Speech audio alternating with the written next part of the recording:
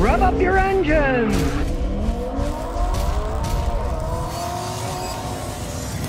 Here's a 2010 Scion XD. They don't make them anymore, you know. What's up with that? Why did Toyota stop making them? He said at three years, all he's done is change the oil. He had to change the valve cover gasket once, minor deal, right? Runs fine, gets phenomenal gas mileage. It starts fine hot. But if you say get on a highway, go eat lunch for an hour, then it's got to crank a few times before it starts, but then it starts up and runs normal. Since we got to wait an hour for it to sit here, because he drove 70 miles to get here, we're going to show you everything about the car, analyze it, and then we'll try to figure out why it's starting weird only when it's hot and it's sat for an hour or so. The whole brand Scion, as far as I'm concerned, was just a stupid idea of Toyota. This one was made in 08, made in Japan. The paint's still good. The interior's still in decent shape. Even the plastic on the bumper's still shiny. And yeah, it's an Econobox car, so it has hubcaps. Who cares? They look okay. Now, Toyota made Scions because they thought, let's sell cars to young people. I remember when it started, when I was in Houston, and they do things like they went to music stores. Yeah, you probably don't even know what a music store is anymore because everybody does everything online. They sold CDs and stuff in those days, right? And they'd have bands playing and they'd have Scions there. And the Toyota employees would drive the young people around, try to get them buy them. So they came up, oh, Scion, a new brand. Well, one, what a stupid idea. Toyota makes good cars. They had a good name. I understand why a Jeep Renegade is called a Jeep Renegade. It's really a rebadged four-wheel drive Fiat, but calling it Jeep Renegade, it's got that Jeep mystique and fools buy it thinking they're getting a Jeep, and then they find out later they actually bought themselves a Fiat, which is a pile of junk. Toyotas were good. Why, oh why they decided to come up with a different name is beyond me. Then they gave up and went back to just calling them Toyotas again. So don't worry if you buy a used one. Well, they don't make them. I can't get parts. They're Toyotas. You can get parts of the stupid things. Now, there's one problem that a lot of Scions had, and that was some of them were oil burners. Now, this one doesn't burn any oil. As we look under the hood, I'll show you why. It's got a four-cylinder engine, and we'll take the stupid beauty cover off. Who cares about that? And it is, as we can see right here, 1.8. It's a 1.8 liter four-cylinder engine. Toyota makes phenomenal 1.8 liter engines. My Matrix has a 1.8. My Celica has 1.8. And my original Toyota was a 1981 Toyota Corolla SR5. It had a 1.8 liter engine and they all ran forever and didn't burn any oil. This Scion behind me, it's got a 2.4 liter four cylinder engine. It burns oil like mad. Smoke just comes flying out of it. Finger in the tailpipe. Slimy black burnt oil. Stick your hand in this tailpipe just a tiny bit of dirt. I mean, it's not black. You always get a little bit of soot, but there's no slimy oil in there. Now, that was a mistake Toyota made. They didn't make the piston rings and the engines right, and they burn oil. The problem was Americans whine. 1.8 liters isn't big enough for us. I know, it's big enough for me. They all lasted forever. What do I care? Realize 95% or so of Americans only drive automatic transmissions. On XD, as you can see, is a standard transmission, a manual transmission. You shift it yourself. Got five speeds. It gets up, it goes. It doesn't burn oil. It runs fine. If you do pair this with an automatic transmission, yes, it's relatively slow, even though it's a smaller car. And so right off the bat, you'd understand, well, if 95% of Americans drive automatics, there goes their market down the toilet for this car, because hardly any Americans drive standards anymore. But they can run perfectly fine. And the ones with automatics, they run perfectly fine too. They're not race cars. They went to a bigger engine and they made a mistake. It's a smaller engine. It can run forever. You really don't have to worry as long as you change your oil. He bought it used. He's put on 30,000 miles. It still doesn't burn oil. They're generally pretty bulletproof engines. But buying a used Scion, instead of 1.8, if it says 2.5, my advice is don't buy it unless, now Toyota did replace a lot of the engines. If they have a certificate from Toyota that said they did the engine over, it could still be a decent vehicle. When they put the right pistons and piston rings in, they didn't burn oil and they ran perfectly fine. That's one thing that you want to watch out for these. Now smaller engines, get better gas mileage. He gets 37 in this. And for some oddball reason, I got about 37 coming back to Tennessee from Rhode Island last time, even though the thing's only rated at like 32. Who knows? The world's insane, but they get good gas mileage. They don't burn oil and they can last a long time. And even though it's a somewhat older car, talking about 13, 14 years old, Almost everything on it's original. It's got the original alternator, air conditioning compressor, motor mounts, almost everything on this thing is pretty much original. I mean, that's how well made these things are. Now we'll go inside. These were basically Econobox cars. There's no arguing there. There's no gigantic frills in these things. Everything works. Everything's easy to get to, AC, and it does have, you can change the music on the steering wheel, that's it. But, hey, I mean, you start it up, they start up. We're not going to start it yet because we don't want to start it. We want to see why it doesn't start when it sits for an hour. And it's got faux carbon fiber, you know, that's plastic, right?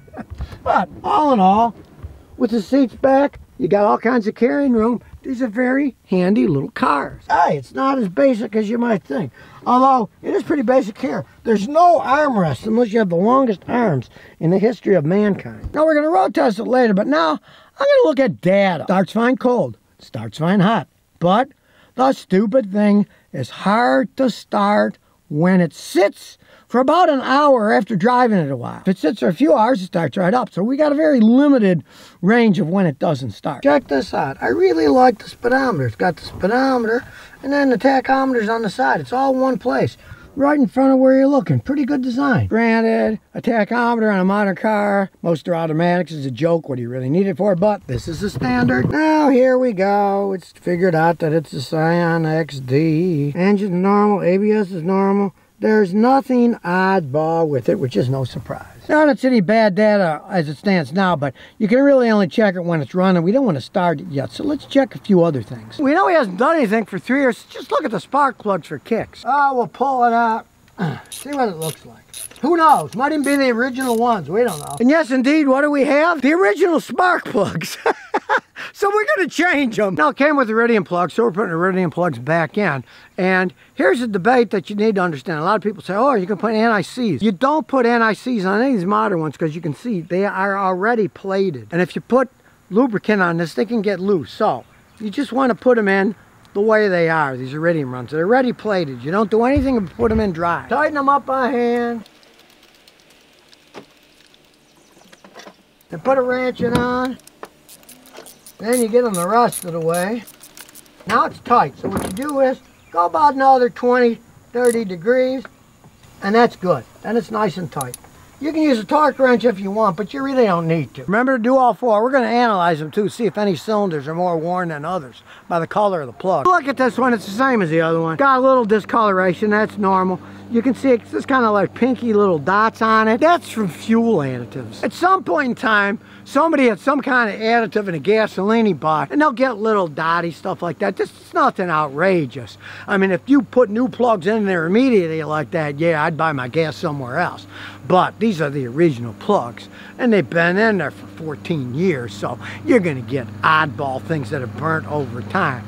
So far, they both look the same. We'll do the other two. So let's see if we killed two birds with one stone. Let's see if it starts up now after an hour or so. We'll see what happens there. Push on the clutch because it's a standard.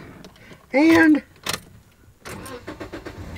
starts right up. Realize even Toyotas need spark plugs every once in a while.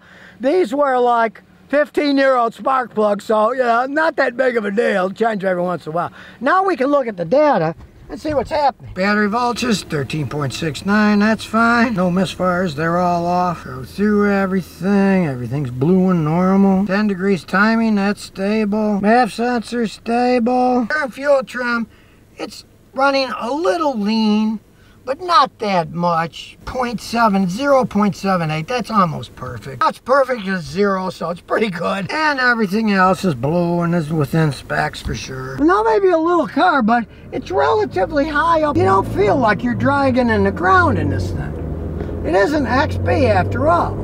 It's a relatively boxy, somewhat high vehicle. And if you keep it in gear lower, it's a zippy thing to drive around in. Just here, I'm not really slowing down that much to take these corners, you don't hear the tires squealing. They're not squealing. It's just a pretty well-designed little zippy box. And of course, it's a light car. The brakes work perfectly fine. No sound coming out of them. You can drive it as fast or slow as you want. And really, it handles the twisties quite well. Didn't have any problem cornering. You're not squealing tires. Now, of course, it's not a race car. You know, it's a Scion XD with a 1.8 liter engine. But here, we'll see what it can do. It can burn rubber because it doesn't have traction control. yeah, it's not as slow as you might think. It gets going. Like I said, I love having the tach and a speedometer together like that. It makes them so easy to read. But really, I didn't expect it to burn rubber like that. Eh? It, that's a 1.8, but Toyota knows how to make 1.8 with a standard transmission. Hey, it's got a little zip to it. Of course, the track's perfectly fine. You know, hands, no hands driving here. Sure, it doesn't ride like my wife's Lexus, but it's a Scion. It's an Econobox car. It handles fine. You get somewhat of a bumpy ride. That's how they are. It's a small wheelbase vehicle. An Econobox thing. It doesn't have really smooth absorbing systems, but it holds the road and it's fun to drive. Truthfully, the shape that's in it, knowing that it's a Toyota made in Japan, I wouldn't think anything about driving around the world in this thing if there was enough road to get there. Geared correctly, cause look, we're going 60 miles an hour and it's only going about 25, 2600 RPMs.